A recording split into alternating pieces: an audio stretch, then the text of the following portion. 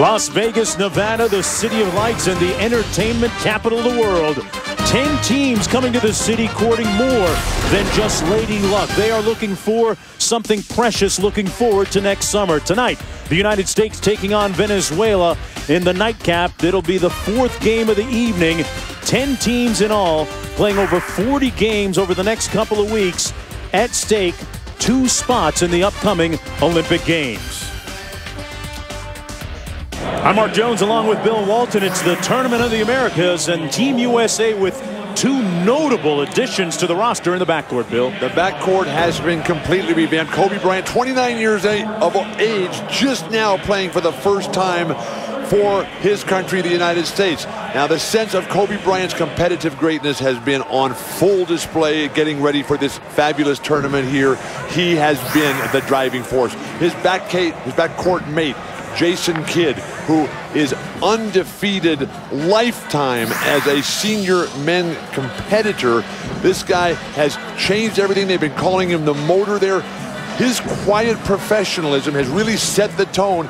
And having never lost in international competition as a senior men competitor, he is not about to let that record start getting blemished. And that backcourt of Team USA much bigger, per se, than they were a season ago in the World Championships. Let's take a look at our starting lineups presented by State Farm. Kidd, Bryant, LeBron James, and Carmelo up front. And Dwight Howard getting the nod in the middle to start over Amare Stoudemire. Meanwhile, for Venezuela, one of the key players to watch, keep an eye on Hector Romero in the front court for the Venezuelan squad, wearing number 12 tonight, a 6 foot 8 inch forward, 27 years old a very fast Venezuela team. This is a squad that's going to have to do something to make up for the lack of size, and they're not the best outside shooting team. The United States should be able to get a lot of lob opportunities and dominate the offensive boards as Krzyzewski gives them their last-minute instructions.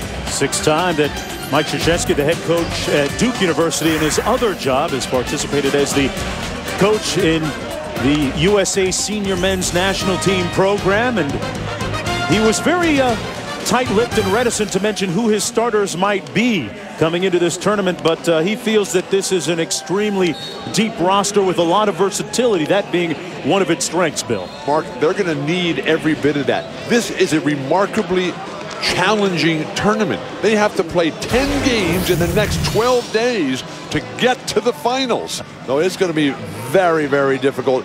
The other teams in the tournament do not have the depth. They do not have the athleticism, and they certainly don't have the individual stars. But with LeBron James making another appearance for the United States, he's got his work cut out for him, but now he has Kobe Bryant to help him. And you see Kobe Bryant there, the Kobe Bryant 2.0 edition, the slimmed down version of Kobe Bryant, dropped some 18 pounds since the end of the season.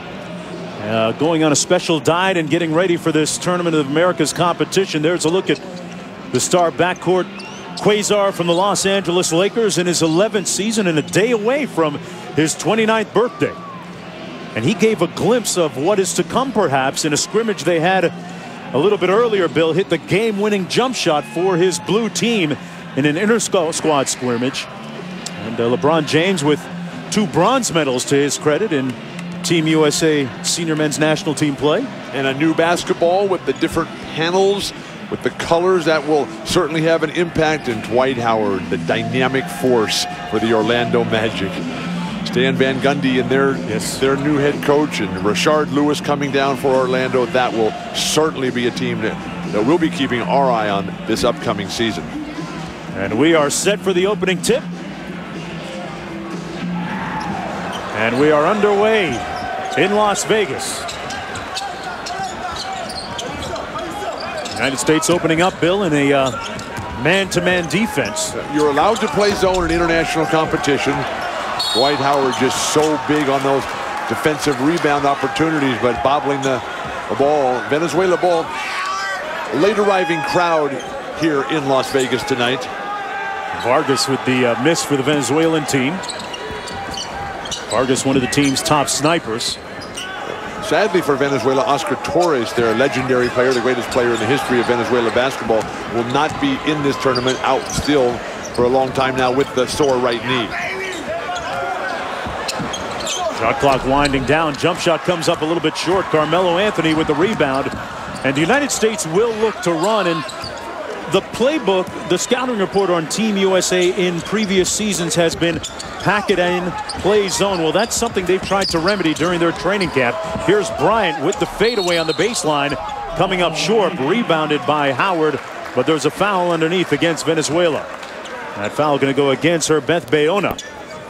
And there are some very marked significant differences between NBA rules and FIBA rules. A shorter court, which will allow the, yeah, the big guys to get more involved. You've got a much closer three-point line. You have four 10-minute quarters instead of the 12-minute that we're used to in the NBA. Different foul out rules. You only get five fouls and you're disqualified from the game. One more look at Dwight Howard and uh, surprised that that goaltending wasn't called, but uh, we talk about the differences between NBA and FIBA rules. Sometimes FIBA officiating can be uh, quite adventurous, Bill. and the interpretation of those rules. Often uh, the the players will not speak the same language as the officials. That's why I've been boning up on my Spanish. The español es muy malo. Something's very bad. I caught the end of that. Bryant with great defense out front. Caused the turnover, but he gets called for the traveling violation. Three to nothing, just underway. So the basket did count by Dwight Howard on the goaltending call. He got the free throw to follow. And Bryant has told Mike Krzyzewski, said, listen, coach, I want to guard the best player offensively from every opponent we face. And that leadership will set a great tone for the United States because when he comes to work this hard, and, and, he has clearly, Kobe, been the hardest working player in training camp to date. They come up with a turnover forced by Bryant's ball pressure. Oh. Kidd inside with a sweet feed to Carmelo Anthony. And one. Carmelo Anthony is going to play a lot of the power forward position. You, you got a, a, dynamic lineup with LeBron James and Carmelo Anthony as your forwards. You got Kobe Bryant as your off-the-ball guard. And the pressure defense here by number 10, Kobe Bryant, LeBron James out in transition. It's going to be interesting to see how Carmelo reacts in the role that he has here because Jason Kidd, uh, Chauncey Billups, Deron Williams, the point guards, they're going to be the ones making all the setup passes. LeBron's going to be much more of a finisher here. Look for a lot of alley-oop opportunities for LeBron. United States leading 5 to nothing. The jump shot a little bit long by Romero. Out of bounds, it'll be USA basketball. Just off the mark. That Venezuela ball. Long, LeBron standing out of bounds on that hard to read rebound. Venezuela has never beaten the United States in basketball. It's the fourth meeting all time between these two countries. They met originally, Bill, back in 1992 up in Portland, Oregon, part of the original Dream Team and really the best team ever assembled in basketball history. In three in three games that Venezuela has played against the United States, they have gone down by an average of 33 points per game. Going to be a foul underneath that time against her, Heberth Bayona.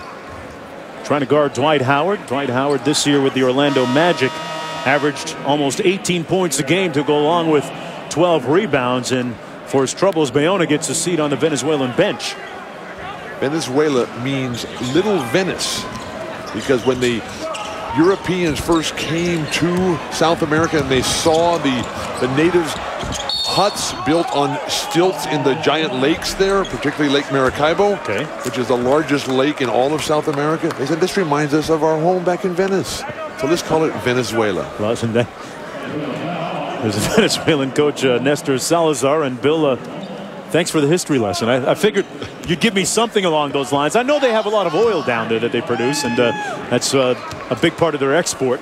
LeBron James at the free throw line, coming up a little bit short. And uh, boy, how does LeBron follow up the season that he had this year, leading his Cleveland Cavaliers to the Eastern Conference Championship before losing to the San Antonio Spurs in the NBA Finals. Cleveland Cavaliers have been a little bit quiet in the offseason free agent market, and uh, they have yet to resign a couple of their own free agents, Anderson Varejao and Sasha Pavlovic. The pass out of bounds, it'll be USA basketball.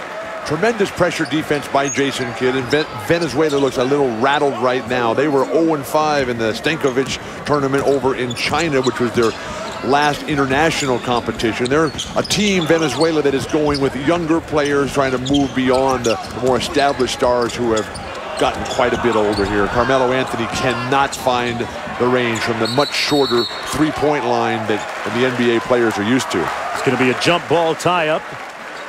Mentioned Carmelo Anthony. He was USA Basketball's Athlete of the Year last year, leading the team in scoring of the World Championships, almost 20 points a game. And he did shoot well over 40% from three-point territory in the World Championships. Three-point shooting has been an absolute nightmare for the United States since they last won an international competition with a horrendously hard foul by Venezuela, sending young man-child Dwight Howard to the line. That was against Miguel Marriaga right here, mauling Dwight Howard. Well, Marriaga is, is, a good solid shot blocker for his size. He's 6'10", just 23 years of age. Got a nice mid-range jumper, but this guy, Dwight Howard, he has every bit the potential to to change the history of basketball and now bringing in Rashard Lewis. And I think that Grant Hill moving on from Orlando going over to Phoenix is a great move for both parties involved. And Bill uh, should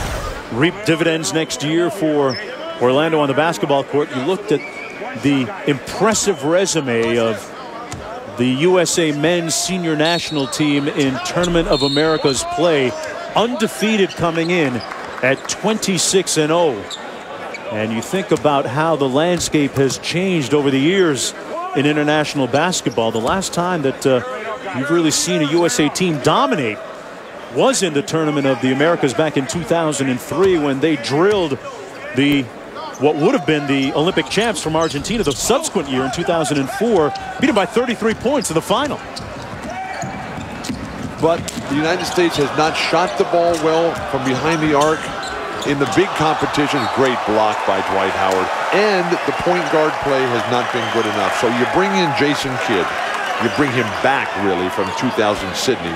You bring in Chauncey Billups, who didn't play last year because he was getting married. And now you got the real deal in the backcourt at the point position for the United States. United States pitching a shutout so far, Bill. Seven to nothing with 7.22 to go here in the first quarter of play.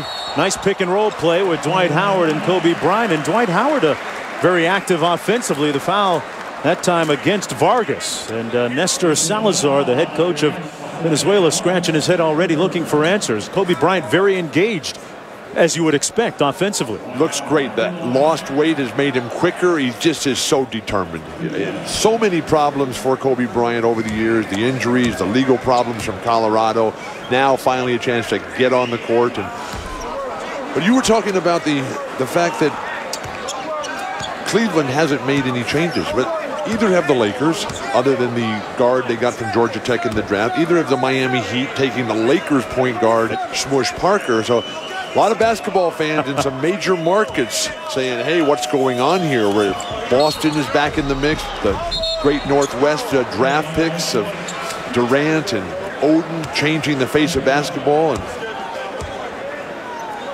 to be interesting to see. You mentioned the Boston Celtics, uh, how quickly Doc Rivers can orchestrate the chemistry on that team. Dwight Howard with another free throw attempt coming up. And you saw in that last free throw attempt, Carmelo Anthony went after the ball while it was bouncing around on the rim, that time missing the tip. But that, once again, one of the significant rule differences in FIBA basketball compared to the NBA. Once it hits the rim, the ball is live.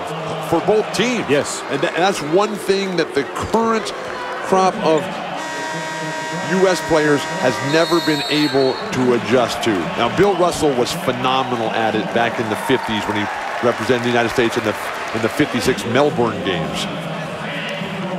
As we said earlier, my, how things have changed since that time, Bill Walton. 7-0 from Las Vegas when we come back. Back in Las Vegas, the United States leading 7 to nothing with 7.07 to go in the first quarter. You're looking at Venezuelan coach Nestor Salazar and Bill. The scouting report against the United States, we've talked about it a little bit already. Defensively, most international teams pack it in against us, play a zone. Why hasn't Salazar gone that route so far? Well, particularly since Venezuela it, it, doesn't have the huge dynamic front court that Krzyzewski has at, at his disposal with Dwight Howard, Amare Stoudemire, Tyson Chandler. But Nestor Salazar, this guy's a very assertive, defensive-oriented coach. And for the most part, he wants to have his team playing man-to-man. -man. I don't know if he's got the horses up front, though, to, to keep the USA as LeBron James just absolutely waltzes in for a layup. And you have to start worrying about the Venezuelan offense. We, we, we, understand that they're a major energy supplier, but right now they need to find some way to ignite what energy that they have. Kobe Bryant's defense has been nearly impenetrable, but here, one more look. Jason Kidd headmanning it up to LeBron James. We got a glimpse of that in the inter-squad scrimmage a couple of weeks ago, and uh, you have a feeling there's going to be a lot of that happening here in the Tournament of the Americas. They might want to think that LeBron James is right-handed and will continue to be right-handed during not only this game but the rest of the tournament. You think? yes. But one thing that Salazar, the coach for Venezuela, might be doing is start out man-to-man. -man and lull the USA into a situation where we think we're going to play man-to-man -man, and then change it up and then start packing it in. Well, then if, if that happens, then Krzyzewski will counter immediately with Mike Miller and Mike Redd, two of the great shooters that they've added to try to remedy the woeful perimeter shooting in the recent past for the United States. Vasquez finally puts Venezuela on the scoreboard. It's 9 to 1. LeBron James into Carmelo Anthony now. Anthony baseline, nice move. And he's fouled going to the bucket. He'll get a couple of free throws. The foul goes against Venezuela's Vargas. I'm surprised by the way Venezuela has started out here because they're out pressuring on the perimeter and they're just allowing Carmelo and LeBron and Kobe and Jason Kidd to get to the lane. I think it's time to start packing it in as quickly Amar'e Stoudemire comes to the bench and That's like he's been spending some time with Mike Tyson there. Either that or a new uh, earring piercing. Oh, Carmelo Anthony. Might, what that might be? Just, just a guess. just a guess. Carmelo knocks down the first one, and uh, don't forget coming up tomorrow night, 11 o'clock Eastern Time, the U.S. Virgin Islands against the United States. The Virgin Islands playing without Tim Duncan and Raja Bell. Raja Bell recovering from the knee surgery. And Tim Duncan uh, is in, ineligible to play for the Virgin Islands because he has opted to play in years gone by for the United States. Tim representing the United States in the Athens games in 04. Down low. Marriaga kicks it back out. They rotated to the weak side. Nice move by Romero. And Dwight actually Stoudemire thought you could see trying to bat it away, couldn't get up there in time, and the bucket falls. Venezuela down by eight. Breaking the habit of always pulling your hand back, you have to change your mindset, and that's why the greatest of the champions are the smartest players. There's Michael Redd from the perimeter. And that's why Michael Redd was added to the roster. Michael Redd, a career 40% three-point shooter, knocks it down. He and Mike Miller, two vital parts from the perimeter when you look at being able to pull teams out of zone defenses. Michael Redd, the coaches have told us, Mark, how he has been the surprise of the camp. What a tremendous all-around player he's, he is. Michael Redd from Milwaukee, but also he is far and away the team's best shooter. That jump shot good, a three-pointer by Romero, and Romero has all of Venezuela's points so far. Might want to think about guarding him the next time in transition. Venezuela ranked number 21 in the FIBA international rankings. USA ranked first. Carmelo Anthony on the blow by. Stoudemire went after it, couldn't get it. It's out of bounds. It'll be Venezuela basketball coming back the other way. Although if I'm Spain or Argentina, I'm saying, what's up with this ranking? we beat those guys. It's an, it's we beat Duncan, a... we beat AI, we beat Carmelo, we, we, beat everybody, and you've got the other guys ranked ahead of us. I don't understand that. It's done on a uh, cumulative basis, I'm told. I think it's done on reputation. a little bit of that in there, too. Tayshaun Prince checks into the ball game from the Detroit Pistons. As has Chauncey Billups for Mike Krzyzewski. Jason Kidd will get a little bit of rest. Depth and rotation and utilizing the entire roster is going to be critical. 10 games in 12 days. This is like a stage race in bicycling huh? where you have to pick your spots when you're going to push, when you're going to just go for the kill. And you use the whole roster. There will be some games when when some players don't play at all, some key players because they'll need the rest. And this team is uh, a little bit older than the version from last year that completed in the World Championships. The pass off the hands of Stoudemire. It's out of bounds off of Venezuela. It'll be USA basketball. Salazar still trying to get his team in sync at the offensive end. Stoudemire so used to getting that bounce pass, that wrapping bounce pass from Steve Nash, who is not playing for Canada in this tournament. Canada going down big time to Brazil earlier today. But Steve Nash hit his NBA career really started taking off when he stopped playing for Canada, and he would just be worn out for the NBA season. LeBron James, meanwhile, with a nice left-handed scoop shot inside. USA leading 16 to 5 with under four minutes to play here in the first quarter. It's the Tournament of the Americas. Team USA looking for one of those two spots for the Beijing Games. Less now than a year away. LeBron James brings it up court himself. So in essence, the USA has to make it to the final game to qualify with this tournament. If they don't make it to the final game, there will still be another qualifier. Oh, great drive. And LeBron swats it away. They're going to call goaltending. So the bucket will count by Romero. Ball was right at the apex. It, it just hanging there a little bit. That's a judgment call. Michael Redd comes off of that screen. Now one for two. Out of bounds. It'll be Venezuela ball. Talked about the age difference between this year's version of the USA team, Bill, and last year's. Last year, the World Championships, an extremely young team. They averaged just a little over 24 years of age. This year, they're closer to 27.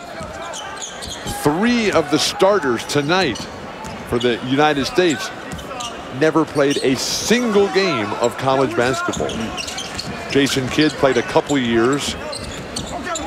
Carmelo Anthony played one year where he was able to win the championship. And Carmelo Anthony has the added advantage of having Jim Boeheim as being one of the assistants as Salazar just beside himself. That's Venezuela's sixth turnover of the game. And that uh, a big part of what the United States likes to do defensively. They'll like to play a lot of man defense, get up in you a little bit, Bill, and uh, turn you over some, much like Mexico did in the previous game as the former Arkansas head coach Nolan Richardson's squad from Mexico won their first game. A bit of a surprise defeating Puerto Rico. Here's Tayshaun Prince. Prince off the mark. Stoudemire comes over the top, knocks it out of bounds. It'll be Venezuela basketball. In talking to the coaches about Tayshaun Prince, they have just been so impressed with how hard he's working. Deron Williams now, so the third point guard already Michael Redd makes a jumper. They yank him out. this is like watching a college game where they're substituting on every possession. But the pace has been just vicious right now. Back to Tayshaun Prince for a second. The coaches here, and what a coaching staff it is with Krzyzewski, D'Antoni from Phoenix, Nate McMillan from Portland, Jim Boeheim from Syracuse. Tayshaun Prince, they say, is the smartest player on the team. He's really the glue that keeps it all together. And he'll be playing a, a a lot of four and three, both forwards position, uh, and sharing that time with Carmelo Anthony and LeBron James. Meanwhile, Bill Venezuela with its uh, seventh turnover. Billups with a nice left-handed move, and the USA leading 18 to seven. Billups making his first appearance in a USA jersey. Was hoping to play last year during the World Championships, but he and his uh, lovely wife Piper uh, had their third child. He was unable to be able to play. They're calling a foul here? It's remarkable. Chauncey Billups can get whatever he wants. Billups and Michael Redd were supposed to be a part of this program and the team last year, but uh, Michael Redd, much like Billups, uh, for personal reasons, unable to play. He and his wife uh, sang their nuptials last summer. If I'm a Piston fan living in Detroit, I am a little concerned. About what? About all the guys they keep adding to this perennial power in the Eastern Conference. They've all been guards. The problems that the Pistons are facing are their front court players. Chris okay. Webber at the end of the line, Is he going to be back? That looks extremely doubtful. You got Rasheed Wallace, uh, as loose a cannon as there is on any ship, and all they do is they get the guards. They get uh, Afflalo from UCLA in the draft. They get the Eastern Washington guy, and they lose Jarvis Carlos Hayes Delfino signs. and Jarvis Hayes, a nice player, but you better get some front court help if you're going to be playing against uh, Kevin Garnett, the vastly improved Chicago Bulls. Shaq will be back with a vengeance this year. Mike Miller missing from outside. Venezuela going to try and get this lead under double digits with 144 to go here in the first quarter. Team USA uh, undefeated, as we mentioned a little bit earlier in Tournament of America's play, 26 and 0 going back to 1992. Right now leading by 10. This is their first game. Vasquez had the ball knocked away. Vasquez, a freshman, there, number 14 for Venezuela in the red. He's a freshman at the University of Maryland. Some very interesting interpretation of the international rules here. Last few possessions, uh, very hard to understand the thought processes of the men with the whistles. Obviously, they have a better vantage point than we do. Yes. There's Vasquez again. Wild up shot. a tough shot on the baseline, and Deron Williams couldn't get it back. Deron Williams has been a very uh, solid performer during the training camp the last couple of weeks. Williams uh, has been taken under the wing and tutelage and auspice of uh, Jason Kidd. Well, to learn as he did in the years gone by from John Stockton, going up there in the summertime to Spokane to learn from the master, the all-time assist leader. Now Jason Kidd uh, has that responsibility to teach Deron, and you also got Chauncey Billups. But, but Chauncey's more of a scoring point guard than a just a, a pass-first player. Mike Miller now 0 for 2 from downtown. Mike Miller, along with Michael Redd, one of the top shooters on this team, gets the rebound here in the United States. Off and running again. Billups. Well, they're playing Chauncey Billups and Deron Williams at the same time here. Miller another three ball. This one falls, so he's one for three from downtown. The United States leading 21 to 8 with under a minute to go here in the first quarter. And FIBA rules, remember, they play four 10-minute periods. And, and on the fifth team foul per quarter, they shoot two free throws. That's going to be a charging foul against Palacio. Kevin Palacio, the 6'8", 22-year-old. With 32 seconds to go, the United States with possession. Palacio's father, Armando, interestingly enough, played on the 92 Venezuela national team that uh, played against the original Dream Team in the Tournament of Americas. Well, there has been one other Venezuela to play in the NBA, Carlos Herrera, but he wasn't born in Venezuela. He was born in Trinidad and, and Tobago. Uh, Carl Herrera sadly facing some very serious tax fraud issues down in San Antonio right now, and can only hope that all works out. The United States after that miss from three-point territory now two of eight from downtown and Barrios called on the walking violation.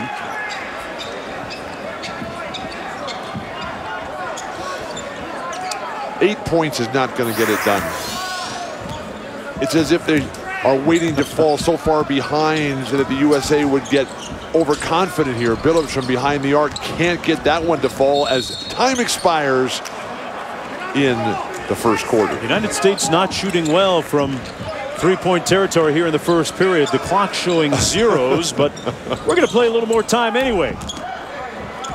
This isn't 1972 revisited, Bill. No controversy at the end here, okay? I do know that you cannot shoot from out of bounds in international competition. First quarter in the books. LeBron James in the United States leading. LeBron going two for two from the field, courtesy of some slick passing from Jason Kidd. As the United States looks to get one of the two spots in the upcoming Olympics, the road begins tonight in Las Vegas.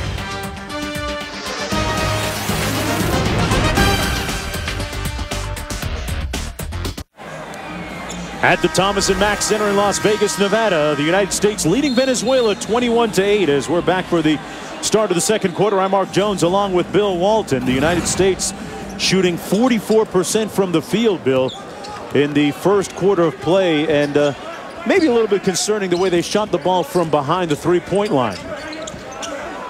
But with Venezuela only shooting 20% on 3 for 15 total, combined with Venezuela's 9 turnovers, resulting in this now 15-point lead with a strong throwdown in transition by LeBron.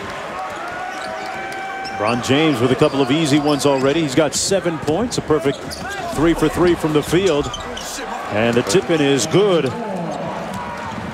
That ball was that ball was blocked, Mark, by Dwight Howard, who's now back in, and Carmelo Anthony just bowling his way. There's a perfect example of the opportunity to tap it back right down through.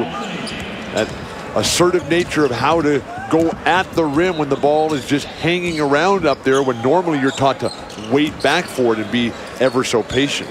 A habit that can be a little bit difficult to break. Here's Vasquez foul that time by LeBron James.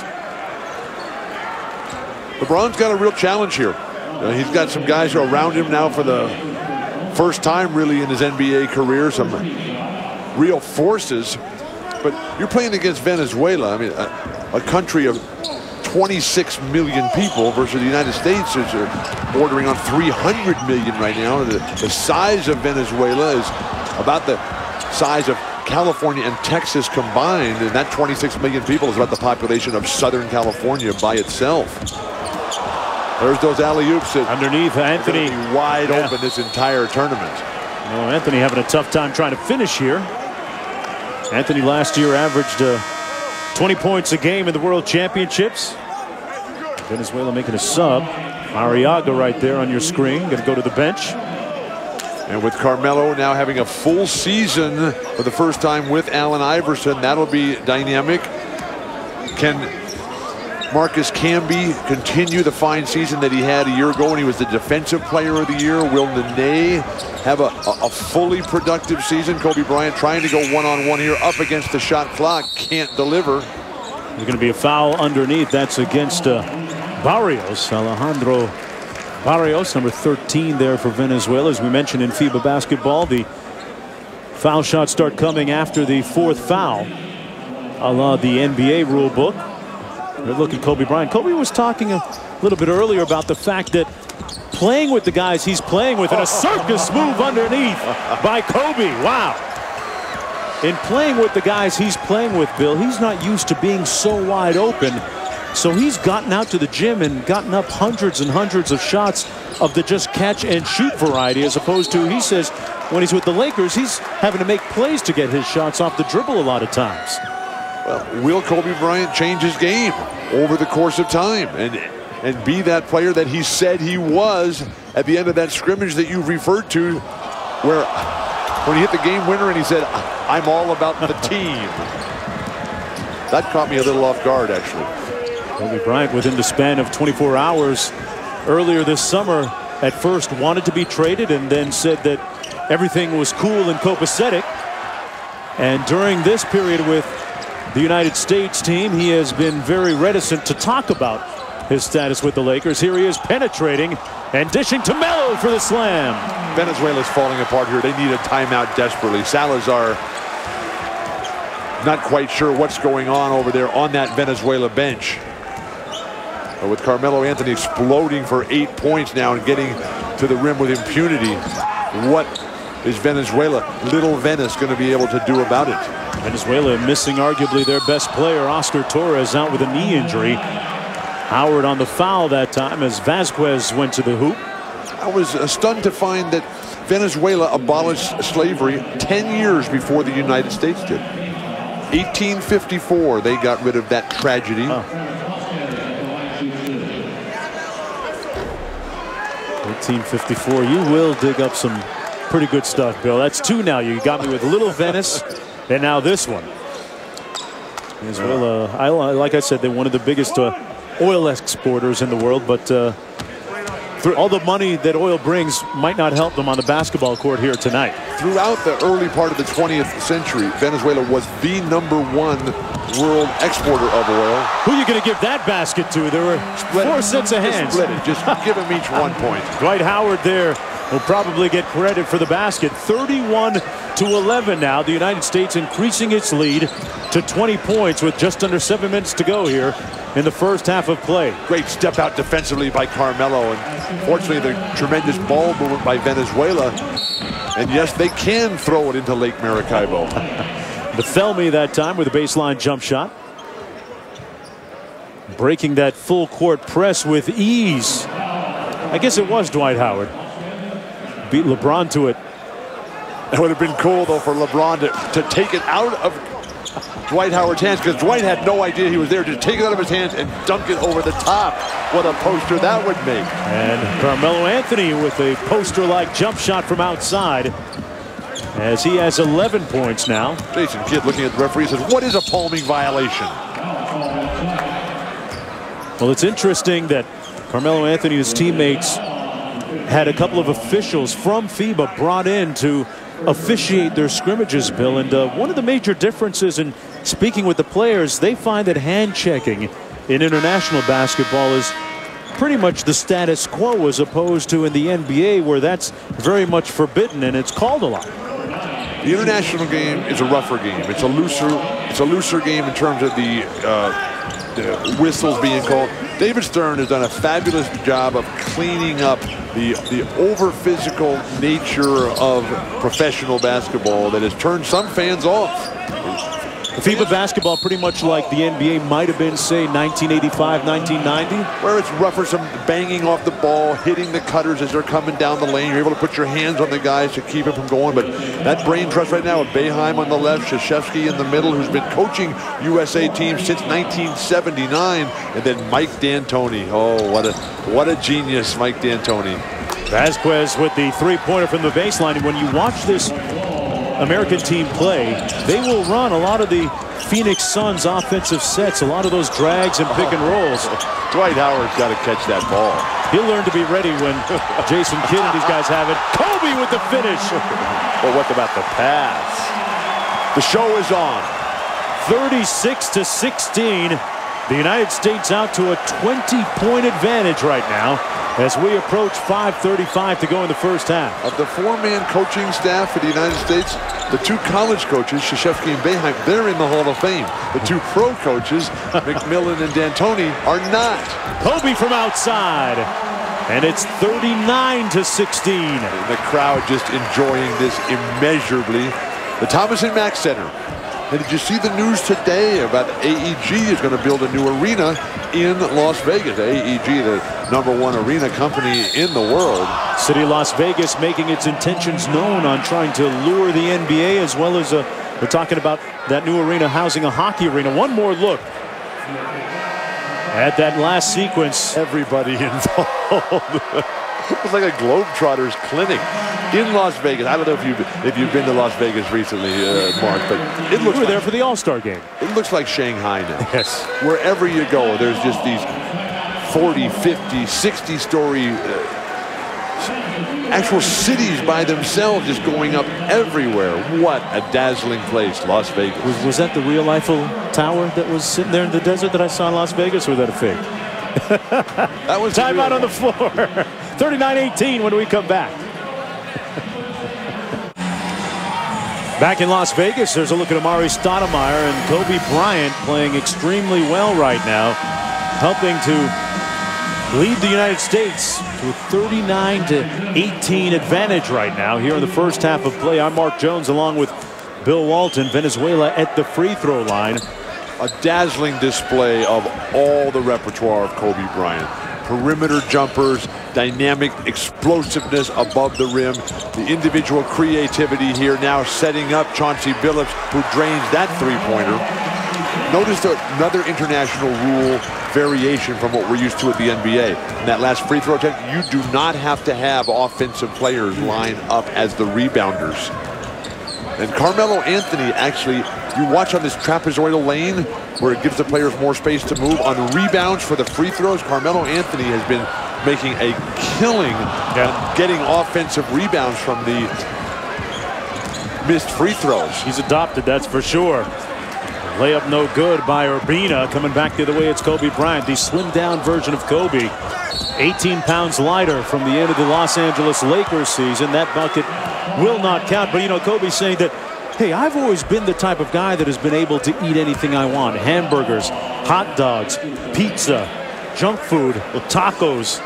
He is on a very strict diet of uh, baked chicken and fish right now and complex carbohydrates with vegetables and it really shows when you look at him. He's in phenomenal shape right now. But even last year, he's always been in phenomenal shape. There's never been a knock on Kobe Bryant about not doing the work, about not being in shape. I mean, this is one of the most determined and dedicated guys in, in terms of getting his own game going. Amari, Amar'e Stoudemire gets rejected on that easy goaltending play to call. That's his first bucket of the game. Amar'e Stoudemire talking about perhaps maybe next year being not only the most improved player in the NBA, but he aspires to be the finals MVP. And uh, that uh, Phil Weber, assistant coach with the Phoenix Suns, has been doing some good work with him this summer. And uh, he says that the next dimension to Amar'e's game is going to be developing a three-point shot. I hope That's not. scary. I hope not. Why is that? Get in the paint and get to work. That's not that's not what the international bigs play like. Amar'e Stoudemire does not need a three-point shot. He needs to learn from Steve Nash and newly acquired Grant Hill how to think the game of basketball. Please. Still very young. His career in, in its infancy as Romero knocks down the free throw.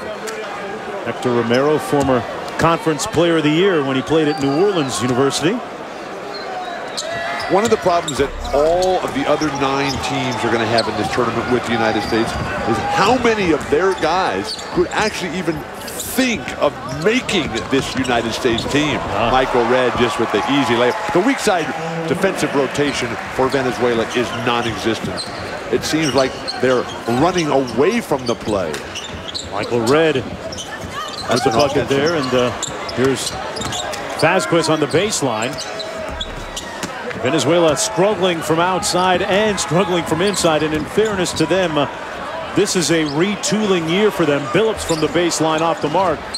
Rebounded, tipped up by Prince. On the run in Venezuela, finishing on the three on two.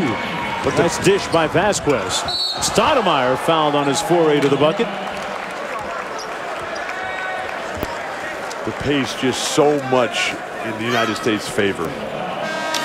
Well, folks, the WNBA playoffs get started tomorrow night at 7 o'clock Eastern on E ESPN2. Eastern Conference matchup between Indiana and Connecticut. All-star Katie Douglas leading the Sun against a Fever team that held on to second seed despite playing the last third of the season without its star player Tamika Catchings. It's going to be very exciting in this year's NBA to see if anybody can knock off the Detroit Shock. Bill Laimbeer has done a remarkable job, and I can't believe I've actually said something nice about Bill Laimbeer on television. Not to mention uh, assistant coach Ricky Mahorn. The two of them uh, With with all the broken noses and knocked out teeth that I've gotten from both of those guys.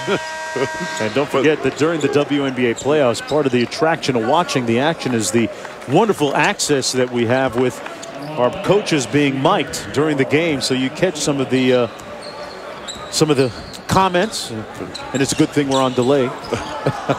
Barrios brings it up court for Venezuela. that Phoenix Mercury team in the WNBA playoffs is going to be a, a, a real team to reckon with.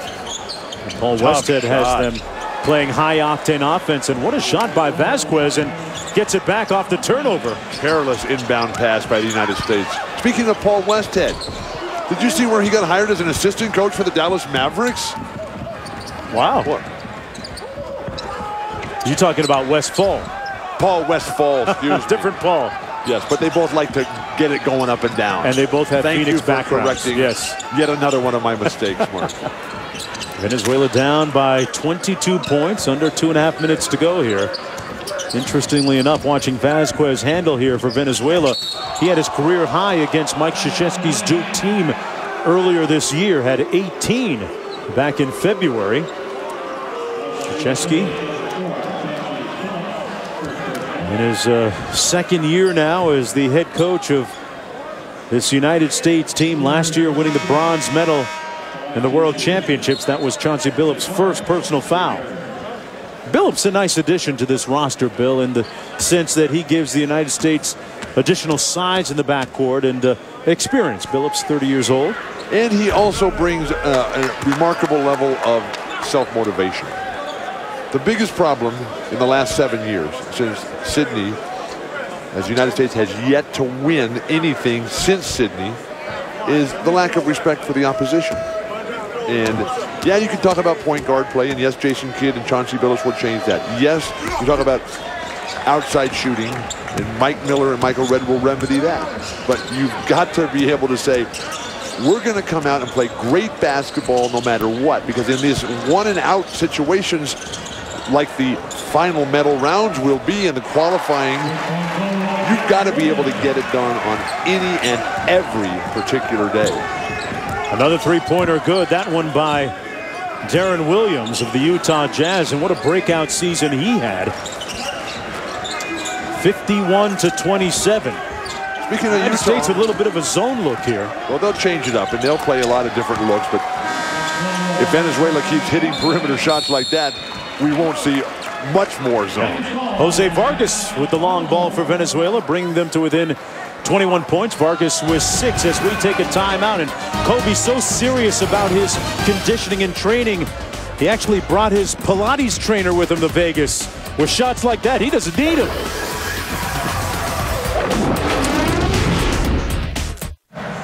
Back in Las Vegas, the United States leading by 21 points with 140 to go in the second quarter. I'm Mark Jones along with Bill Walton. Mike Krzyzewski has some very important parts around him in Jerry Colangelo, and now they have a new scouting director, uh, Tony Ronzone of the uh, Detroit Pistons, who's very familiar with a lot of the international opponents that we'll be seeing from here until the time that we get to Beijing in 2008, Bill what a staff that Jerry Colangelo has put together. They also utilize Rudy Tomjanovich extensively. And so with everybody on the same page, and one of the great things about Mike Krzyzewski is that he demands commitment to the team. And as our world has gone in different directions and they focus on the individual and the marketing and everything, Krzyzewski is able, maybe the one guy out of the college ranks, maybe Roy Williams could get it done, Hall of Fame this year. Uh, Lute Olson, also the Hall of Famer. Maybe they could get it done, but it was a brilliant pick by Jerry Colangelo to go with Mike Krzyzewski. United States leading by 21 points. Amar'e Stoudemire going to the free throw line. Krzyzewski's uh, Duke team uh, struggled this year. I'm looking at Amar'e here, and it, we talked about the band-aid on the earring okay. or, or, on the ear, but that haircut that he has is the exact opposite of my haircut because mine is leaving on top and, and hanging a little bit on the sides, but uh, I'm going to have to ask Amar'e what, what he calls that. It looks like a combo mohawk slash fade. Makes one out of two free throws. Amar'e. Fade? Yeah. You mean you mean you walk into the barber and "Give me a fade"? Is that yeah, what it's called? Yeah, yeah. that's what they little. I'm I'm you got the high top fade, you got a normal fade, you got a ball fade, and I guess Amar'e's mohawk fade. I'm gonna have to start spending more time with you out, out there in the neighborhood. Yeah, we'll, we'll hit the barber, the shop. barber shop. Yeah, we'll go down to Overtown in Miami when we do a game there. Meanwhile, the United States, 6 of 15 from beyond the three-point line, 40%. Foul called against the United States that time with 110 to go here in the first half of play. A first half dominated by the USA. And again, no Venezuelans on the free throw line in the offensive rebounding position. They're just sort of wandering around out there. But to show the impact of Jason Kidd, the way he gets everyone involved. Carmelo Anthony's got 11 points. Kobe's got seven points, as well as a game high five assists. And LeBron's got seven points of his own. And Jason Kidd or Deron Williams, Chauncey Billups not even really looking to put it up right now in the closing moments of the first half here. Michael Redd can't find the Off the screen, off the mark. Michael Redd gets it back. He and Mike Miller on the floor at the same time. We'll see how what kind of uh, shooting numbers they can put up. We know we'll get attempts out of Mike Miller. Miller came in earlier. He's already one for three. This time, hey, he's got a driver's license too. Missed, but Stoudemire there to have his back. Michael Redd, Milwaukee Bucks. What's going to happen with E? I mean, this guy, the little I know about his game and have seen him play just a little bit on film, he's really got talent, but his insistence on not going to Milwaukee is really uh, putting a lot of pressure on that franchise. Larry Harris, the general manager, trying to work the backdoor channels with the Chinese Basketball Association to get him in into Milwaukee oh, and give great. it a oh, chance. Good block underneath. And a foul going to be called. Axier Sucre couldn't get the shot off. He was met with resistance by Amar'e Stoudemire out of bounds.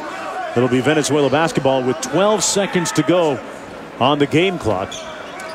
If United States don't get back cut here, don't get lobbed, force them to receive coming away from the basket and make a very difficult shot under duress, fading away from the rim.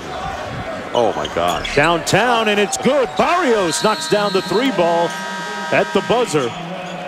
And it cuts the United States lead to, well, 20 points as they head into the locker room. But Jason Kidd, the catalyst, and Chauncey Billups and Michael Redd with some deft outside shooting at times as the United States leads going into the locker room despite giving up this late three-pointer by Alejandro Barrios. But Venezuela with its work cut out. The United States with a good-looking first half. Back with more right after this. At the Thomas and Mack Center in Las Vegas, the United States leading by 20 points as we get ready for the start of the third quarter. First, a look at the McDonald's first half numbers. And Bill, uh, a pretty decent shooting percentage, well over 50% from the field. And only 30%, 33% for Venezuela. But the three-point shooting, both teams shooting about the same percentage, but more attempts by the United States. That's very advantageous.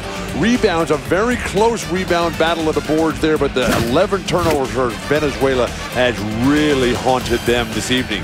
And a lot of those turnovers leading to fast break points at the other end for the United States in transition. The leading scorer for the United States after the first half, Carmelo Anthony with 11. Kobe Bryant with seven points. To go along with five assists, LeBron James also with seven points, and uh, Amar'e Stoudemire also with seven points. For Venezuela, the leading scorers, Vasquez with nine, Romero with eight, and Vargas with six. But the USA team really, it, it, this was a symphony orchestra uh, tonight in the first half with fast break opportunities time and time again. Keyed by Jason Kidd, the fantastic finishes, Kobe Bryant, LeBron James, Carmelo Anthony.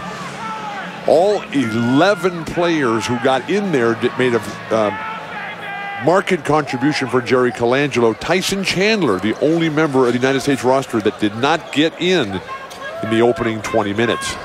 Mike Krzyzewski going with the same starting five that began the game. Kobe Bryant with a nice yo-yo move and a sweet pivot for the jump shot. Kobe now with nine in the game, and Mike Krzyzewski uh, going with Kidd. Kobe in the backcourt. Dwight Howard in the middle. LeBron James and Carmelo Anthony on the wings for the United States. That halftime piece uh, really pointed out what we have learned from watching this team play is that Kobe Bryant is driving the train. a highlight film opportunity there for the United States in transition. LeBron James unable to deliver. That pass might have been just a little bit high. Kobe a touch off the mark. High and outside. but Kobe's not usually throwing that no. pass. He, although he did throw one to Shaq when they beat Sacramento that year. Carmelo Anthony with the slam dunk. And Melo now with 13 points in the ball game. There's just no defensive resistance whatsoever by Venezuela. Not only are they extremely oh. young, Dwight Howard just spanked that one. And LeBron toying with Vasquez for the layup. Uh, toying is the correct word as we look at the United States largest margin of victory ever in uh, FIBA America's championship was 1992 when they beat Cuba by 79 which was the, actually the largest margin of victory, of victory ever for the United States in international competition. There's no mercy rule in no. in FIBA, right? No. I had to ask. Dwight Howard with the goaltend. No, it's not your hand's fault, Dwight. I think that's a good block. I completely disagree with the referee's interpretation. Actually, they didn't call goaltend. My bad. And uh, push underneath oh. that wasn't called, and the stick back good by Barrios. Throw it down in their face. What a pass by LeBron. And Howard finishes at the other end. Dwight Howard was a perfect nine for nine in that inter squad scrimmage that they had a little bit earlier. And that foul going to go against the United States as Barrios drove it to the basket. Barrios going to the free throw line. He averaged eight points a game to go along with three rebounds per game in the World Championships last summer. Venezuela finishing well down the rung, finishing 21st. Well, Barrios is a decent shooter.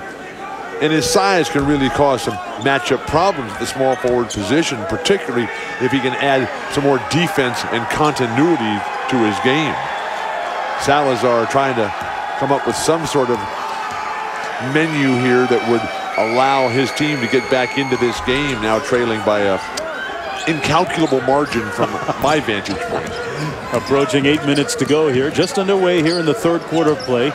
Jason Kidd out top. Oh, that was a lob pass to Carmelo. Not sure if he meant to bank that, but Kobe Bryant with the rebound underneath and gets fouled. Bryant going to go to the foul line. We've been talking about Kobe's nutritional change and the loss of the 18 pounds. And the Pilates he's been doing. Never discount the impact on your health of nutrition and your lifestyle. And as these young men get older, Kobe, 29 now, or you said tomorrow is his birthday? Well, Thursday, East Coast time, yeah in these middle of the night games, I can never figure out what day it is. Okay, he's 29 as of uh, now. Thank you, Mark.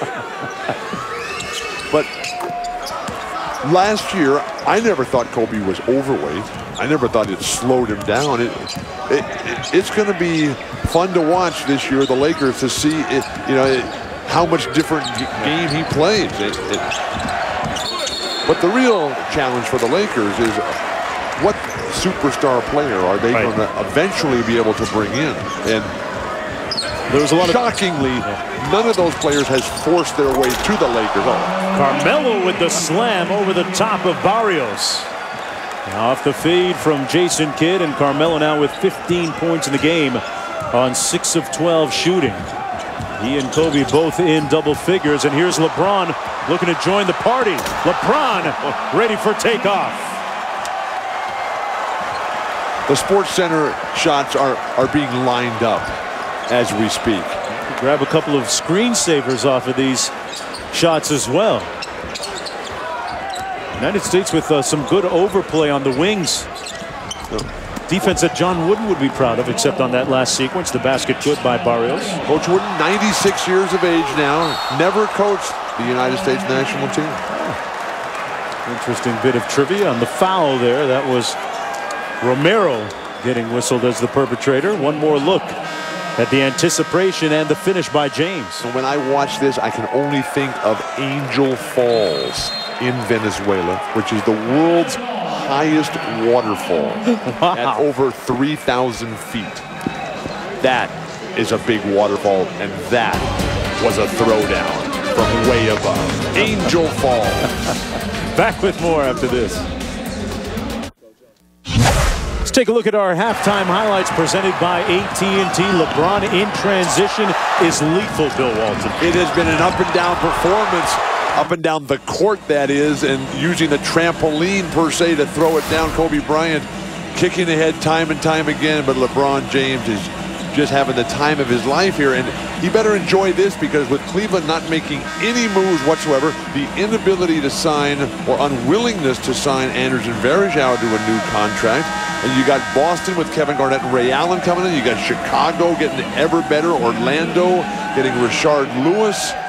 LeBron James going to say, how are we ever going to get back to the finals if we don't make some changes? Because things uh, things really didn't go well that last 10 days of the NBA playoffs with Krzyzewski. He looks like he's losing this game. At what point do you get to have a, a little bit of fun? Well, Mike Krzyzewski going to find which combinations work and which ones don't. And uh, maybe with an eye ahead to some of the tougher matchups during this tournament, which will probably come against the likes of Brazil and Argentina. Brazil defeating Canada in a game earlier here in the game before this one. The ball knocked away, and it's a three on two. Anthony over to LeBron. Uruguay coming up winners over Panama in overtime. Here's Kobe. And then Mexico beat Puerto Rico with Carlos Arroyo having a nightmare performance. Very difficult shot. They're calling a block shot off the back of the standard. Kobe can't believe it.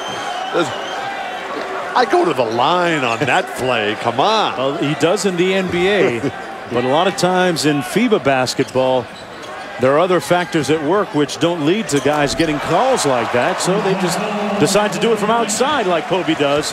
Now leading by 30. Kobe Bryant into double figures.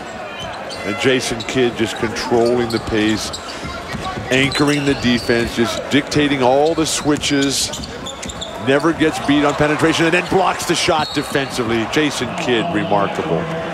You see that a lot against the United States, Bill, in FIBA basketball, where teams will invariably commit a foul and not give the Americans a chance to get something in transition. And that's good basketball because the USA guys, they're, coming down to court to throw it down. They're not coming down to make a little bit of a layup. And that's what the fans are get so charged up about. So you, if you see a guy in transition, just grab him and foul him. Oh, Carmelo Anthony pulling his way to the hoop.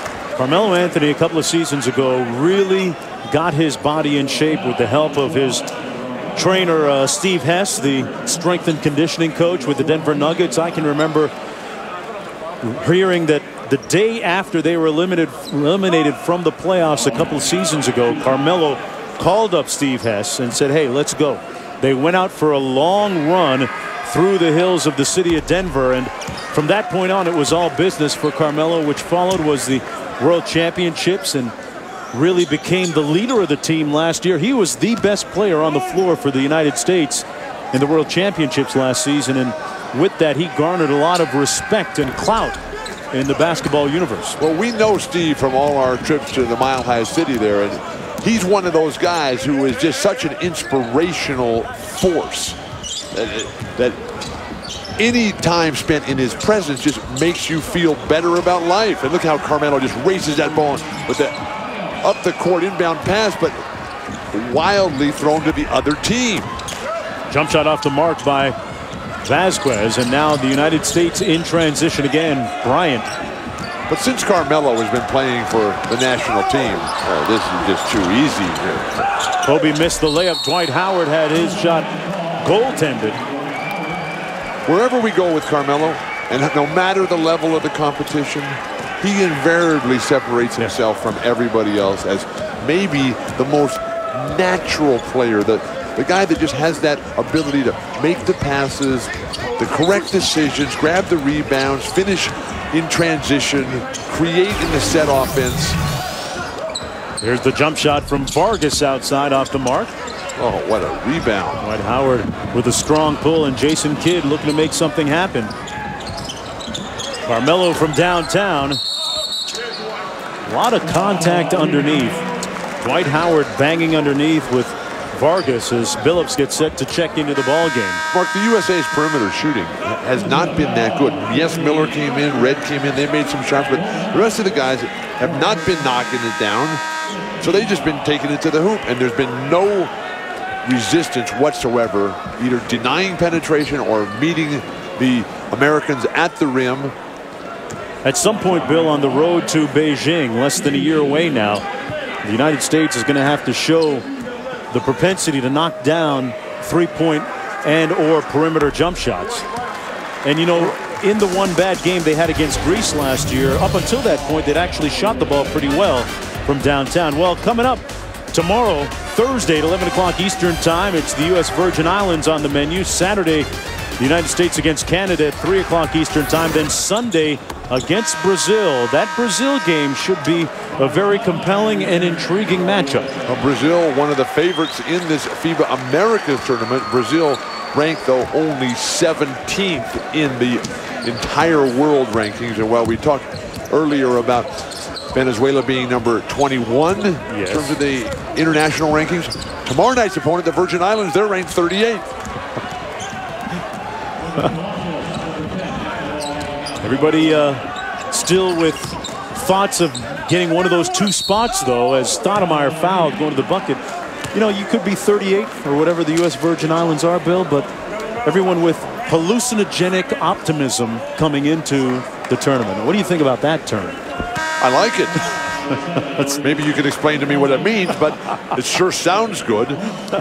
Prince Who would have in. ever thought that Greece would beat the United well, States? There you, you go. Watch that game. And Vasilis Spanoulis comes out and hits his first 10 shots. The, the, the Greece national team plays like Villanova played in the 85 NCAA championship against Georgetown. Just perfect basketball. And that's what makes the one and out scenario so entertaining and so exciting. And uh, all the guys here on this U.S. national team were talking at the halftime feature about how stressful, how pressure-packed that is. And I think that's good. I like it.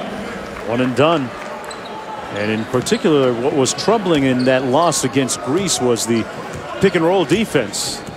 And Sofoklis Schortsanitis, who really killed the Americans with his bulk and his size inside. No such problem tonight with the lack of size on Venezuela's part inside. Now they kick it out. And I'm shocked by Salazar, Nestor Salazar, the coach of Venezuela, who has yet to pack it in defensively. Just say, you know, there are no illegal defense rules in international basketball. You do what you want out there. Phillips turns it over. Now here's Venezuela in transition, coming up short. Tayshaun Prince with the rebound. We still haven't seen Tyson Chandler, so we're just going to have to get a report. Wouldn't be surprised if he's injured tonight. Chandler giving the team a little bit of a shot blocking. Here's LeBron James on the drive. James can't finish. These teams, 10 of them in all here at the Tournament of the Americas, playing for two spots to the Beijing Games, now just 11 and a half months away. Well, there are plenty of opportunities to qualify. Only three teams have qualified for the Olympics as of this moment. The host nation, China, being one.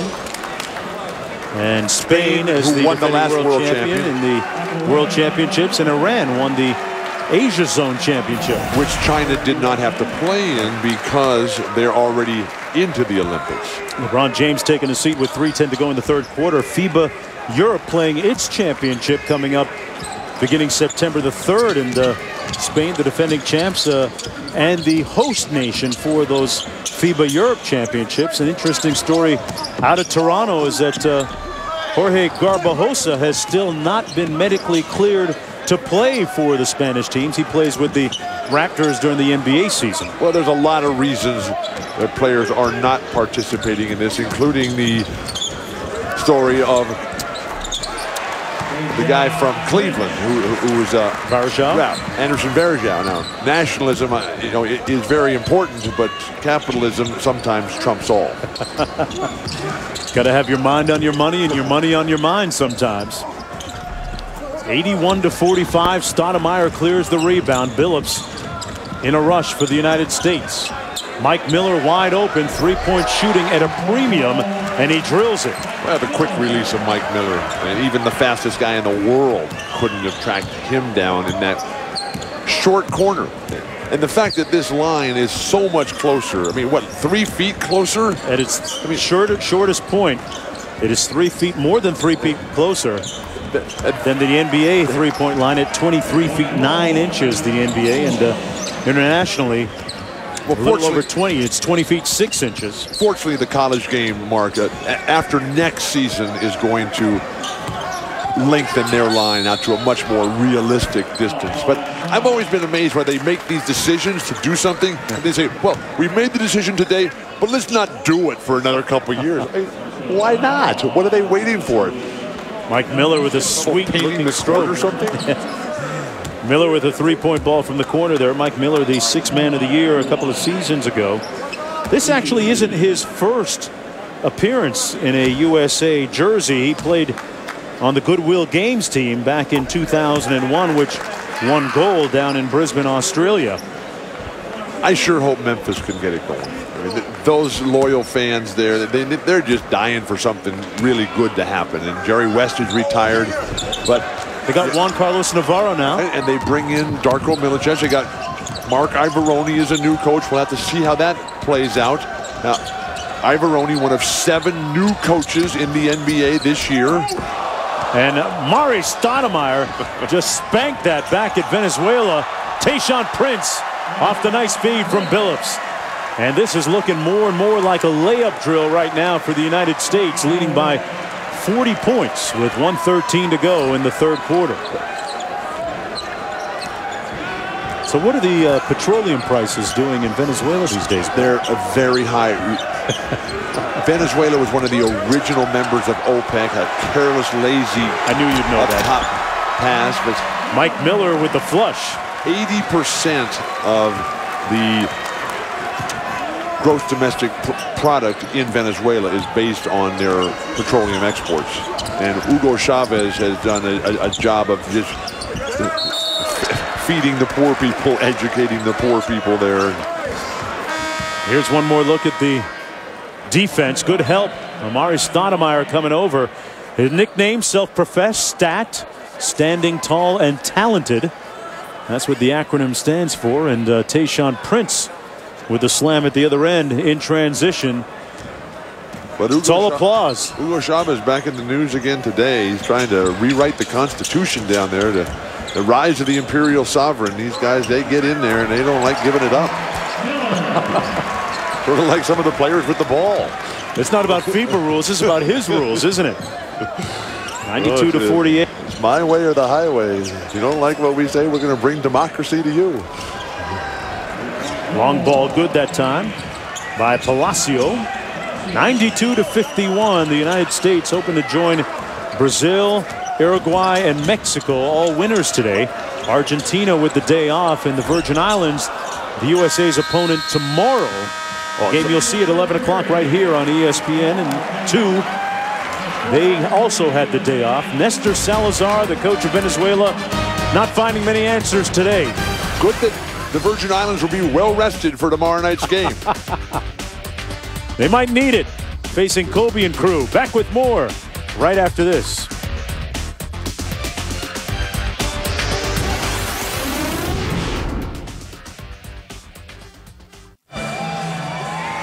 The Thomas and Mack Center in Las Vegas, Nevada. The scene of the Tournament of the Americas. 10 teams competing, playing over 40-some games during the next couple of weeks with two spots to the Olympics on the line. And let's take a look at our higher player of the game and play of the game, actually.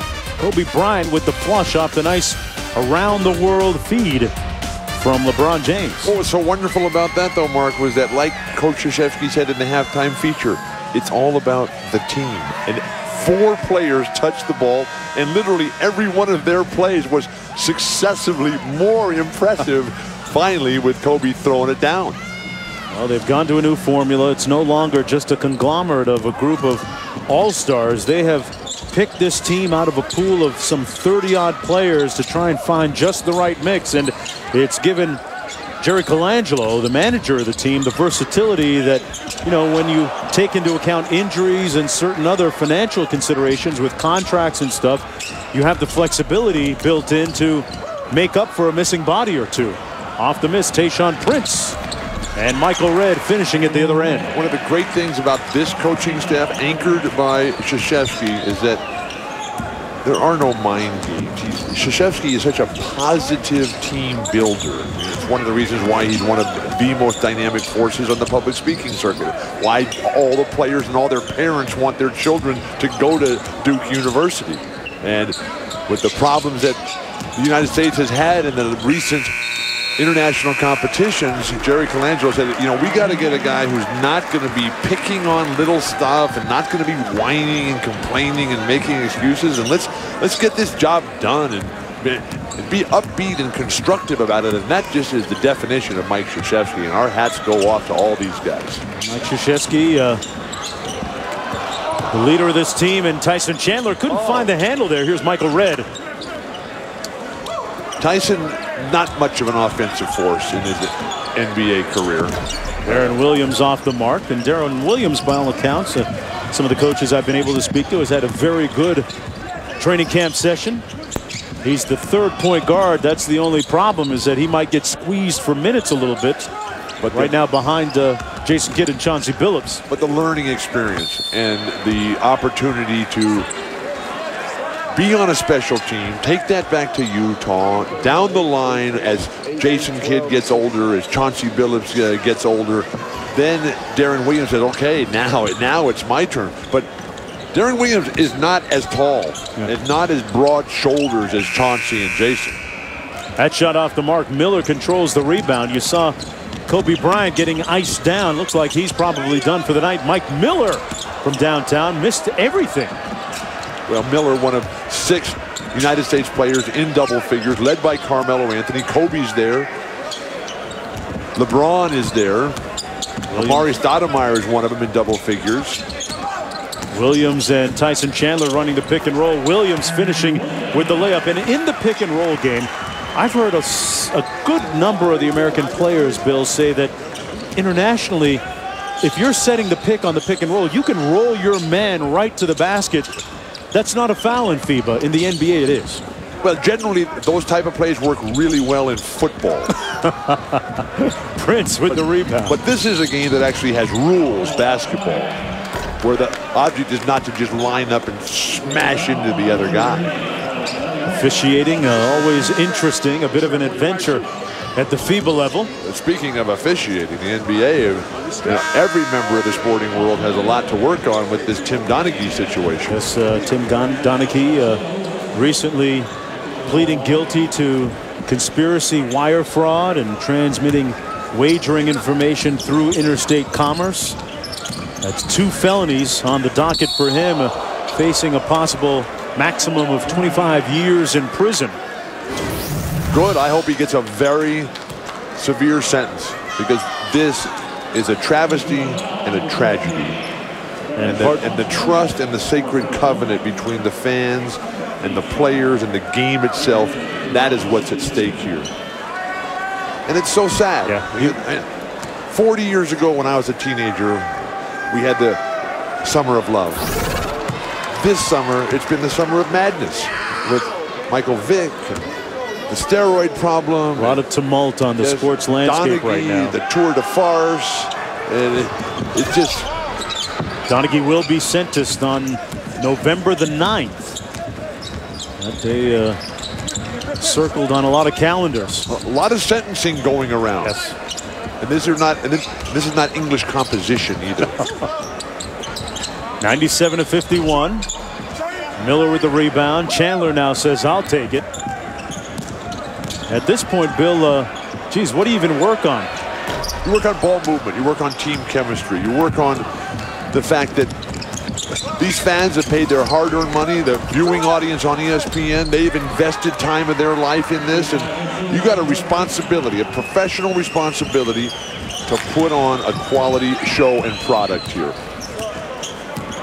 Approaching six and a half minutes to go, and uh, you talk about establishing a little bit of chemistry. Uh, chemistry going to be the buzzword around Boston as Michael Redd uh, drives the baseline as the Celtics pulling off the big trade to acquire Kevin Garnett, adding him to Ray Allen, who was sent to Boston from Seattle a little ways before that.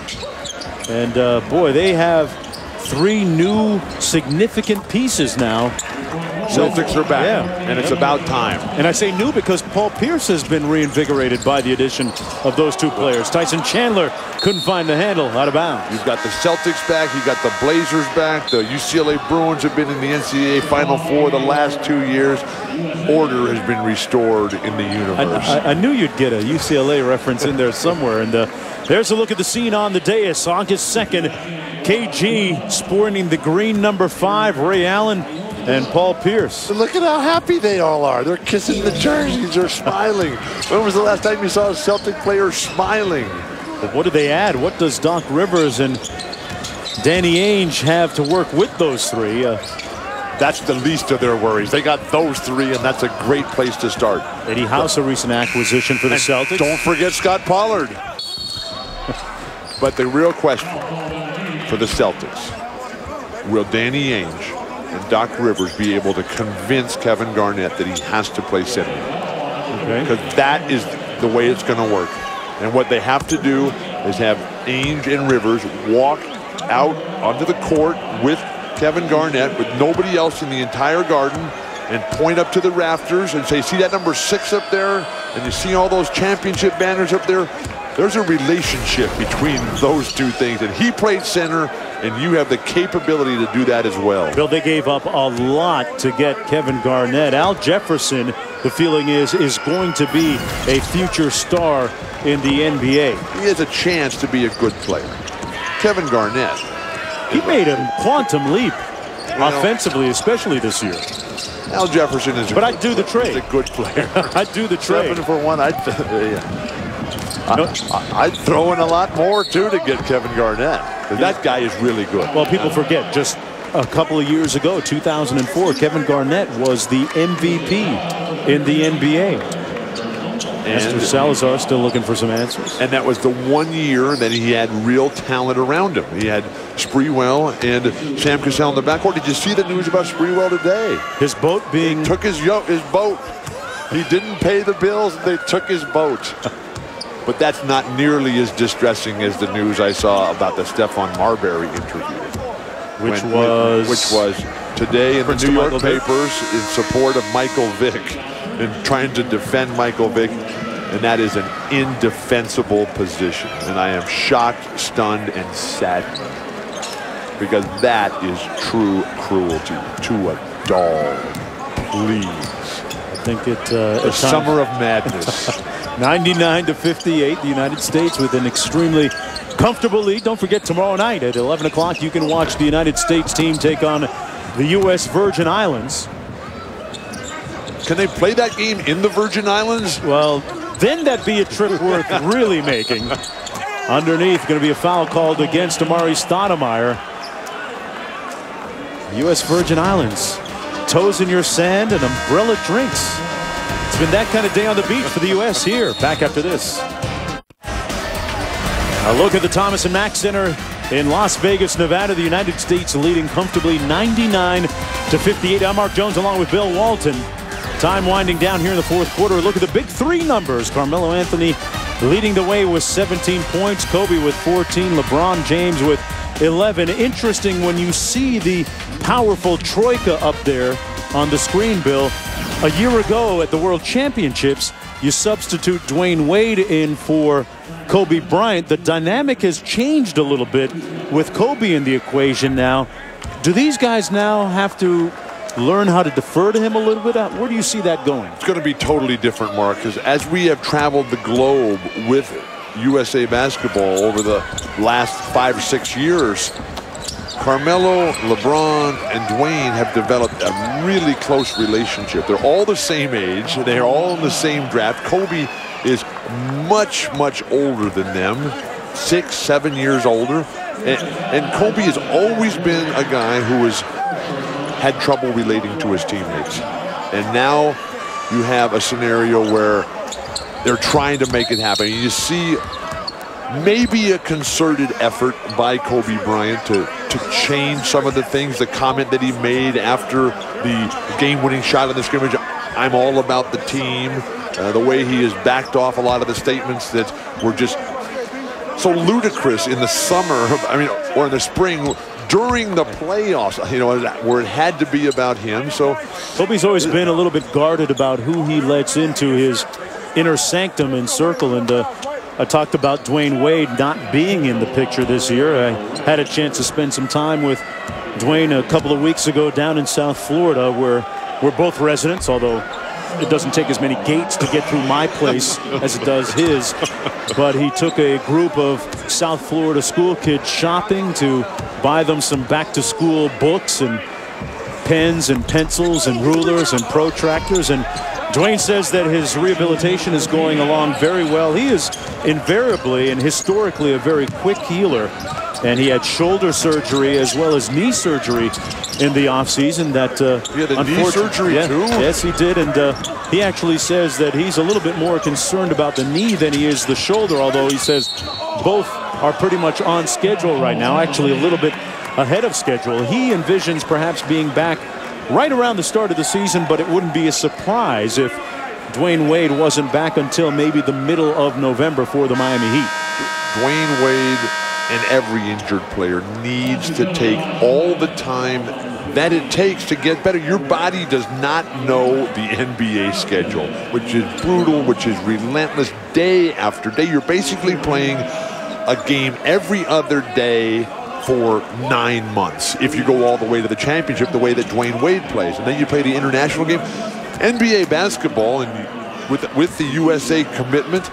It's now year round, and uh, and some of the guys just don't ever get any rest. LeBron James is a classic example. This guy's been playing a lot of basketball. Amar'e Stoudemire with the free throw now has 14 points in the ball game, and what a year a difference has made with respect to injuries for Amar'e Stoudemire. Last year, this time, he was just on the comeback trail. A foul called underneath against Mike Miller. Stoudemire was on the rebound from that knee surgery, his second knee surgery in less than a year, and he was unable to play with the United States in the World Championships. But boy, what a season he had in bouncing back and showing great resilience. And I'm so excited that Phoenix has Grant Hill. This is going to be great. And if Grant can play 15 to 25 minutes every night. That is going to change so much for Phoenix. He'll bring a totally new dynamic. He'll get some thought processes going in the front line there uh, that will change what has recently been just nothing but raw athleticism of Shawn Marion and Amar'e Stoudemire. And if Boris Diaw can get his act back together and become the player that he was two years ago, then Phoenix might be able to really consider themselves a, a, a, super special team.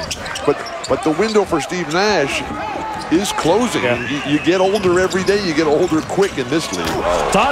Boy, that wasn't a Steve Nash dime that was dropped, but it was pretty good nonetheless from Tayshaun Prince as Stoudemire hammered it home. I said earlier that Stoudemire's goal this year is to be not only the most improved player in the NBA, but also the finals MVP. And, you know, with no disrespect to the San Antonio Spurs, who deserved everything that they got this year and worked for, it might have been a different story had that suspension not played out the way it did. And those guys coming off the bench, Stoudemire and Diaw, and subsequently getting suspended for that game in the NBA playoffs. I disagree with you there, Mark. I thought, first of all, the suspension was the right thing to do. They left the bench during a fight, and you can't do that. That's what the rule is. Yep. And then Tim Duncan and the entire San Antonio Spur team is just so smart. I mean, they don't win because they're the biggest team, although they got a great giant player in Tim Duncan. They don't win because they're the fastest team, although they've got Tony Parker and Manu Ginobili, who are lightning on the court.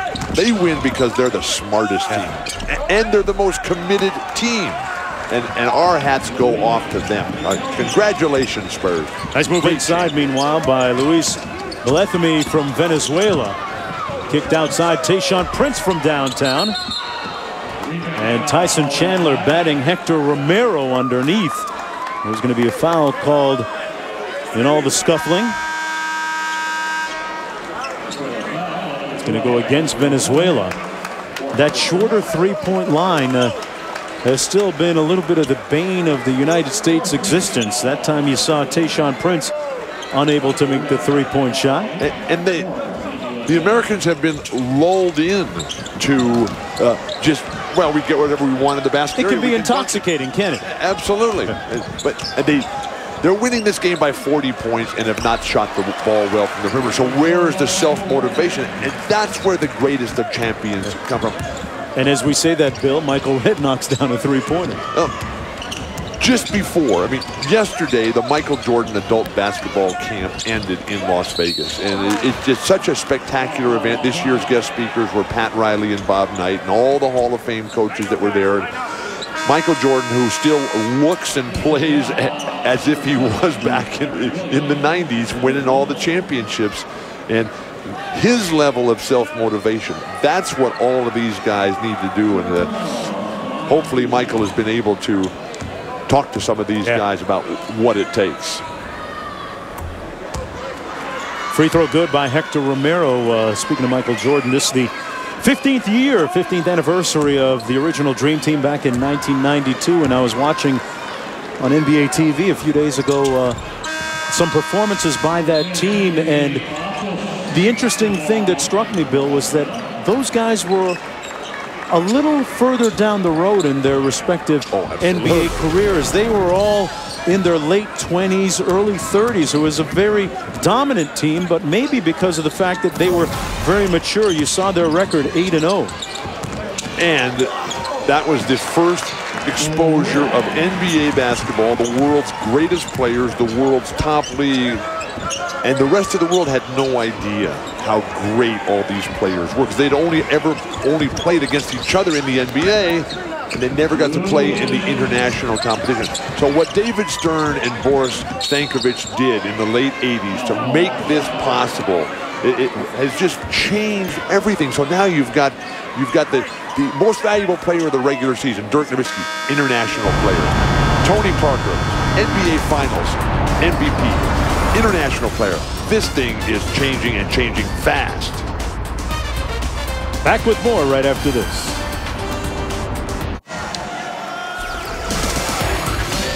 United States firmly in control from the opening tip. 109-66 leaders with 156 to go here in the fourth quarter play. I'm Mark Jones along with Bill Walton. This is the first game on the docket for the United States. They will play each team in their own group, followed by crossover play. And uh, it's been the big three that have gotten the job done tonight. Kobe Bryant, LeBron James, and Carmelo Anthony. Uh, the ball movement and then the spectacular finishing capabilities of these incredible stars who are showing the rest of the world just how dominant they are. Carmelo Anthony with a second effort, but this lead at one point was 46 points. Seven United States players are in double figures.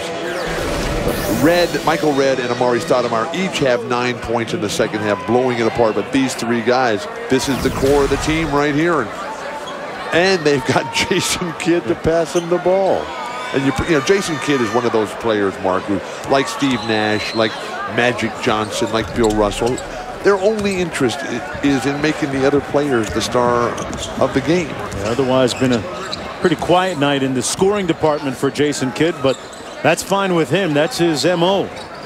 Tayshaun Prince inside to Tyson Chandler, trying to get him on the score sheet. I was hoping for a little bit more from Venezuela. I mean, because this is really a, a, a remarkable country. Uh, they're, they're, in the midst of a rebuilding project uh, with their eyes not even towards so much the Olympics next summer, Bill, but looking ahead to the World Championships, which are going to be played in Turkey in several years. That would be in 2010. 2010. And the United States is uh, part of the Europe Live 2007 uh, the Minnesota Timberwolves, a, a, a, team in a serious rebuilding mode themselves, they're going to be spending their training camp in Istanbul in early October. They'll play against the Boston Celtics uh, as part of the NBA Europe Live Tour. Uh, Spain will be involved in that. London, Turkey. And Mike Miller a little bit shaken up, limping off the court now. Going to call it a night. Keith Jones, the trainer for the Houston Rockets attending to him. Uh, Casey Smith of the Dallas Mavericks also working on this United States team as a, one of the athletic trainers. But that's the great thing about the depth of this roster.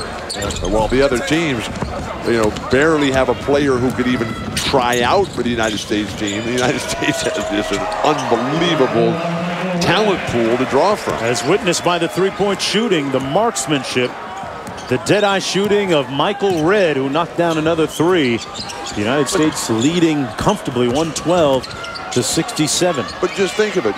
You know, you've got a, a talent pool of our country's population of 300 million. The only country in the Western Hemisphere that even comes close to that is Brazil. And they have a very good squad.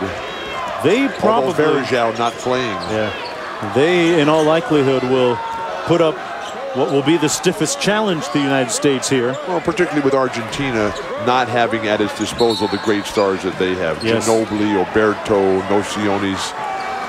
And Carlos Delfino suffered a knee injury recently, although he says now that he will be able to play. And uh, That's why you don't take a charge. Uh, Mike Miller was shaken up on that play. He came out of the game after that. The old knee to the groin is uh, one of the uh, great tactical weapons in basketball. Jump shot off the mark. Eight seconds to go. And the United States will join Brazil, Uruguay, and Mexico as winners on the opening day of this Tournament of Americas here in Las Vegas. As Mike Krzyzewski's team strolls to a 112 to 69 victory over the highly overmatched Venezuela squad. The United States with seven players in double figures on their way to the win. We'll be back with more to wrap it up right after this. Back in Las Vegas at the Thomas and Mack Center, a look at the final numbers 112-69. The most important ones, the United States Bill shooting 55% from the field. They had seven different players in double figure scoring and uh, winning pretty much every important category. Dominant on the boards as well, plus 10 there, and forcing 20 turnovers for Venezuela, but with so many players in double figures, Seven players for the United States in double figures, led by Carmelo Anthony. He always seems to be there at the top at the end of the day. Venezuela only with two guys in double figures. They couldn't get it done except for winning the opening tip. Well, despite the big win, humility has been one of the great lessons to this U.S. team in the past. They'll play the U.S. Virgin Islands tomorrow and join us for that game as they take on the Virgin Islands at 11 o'clock Eastern on Classic.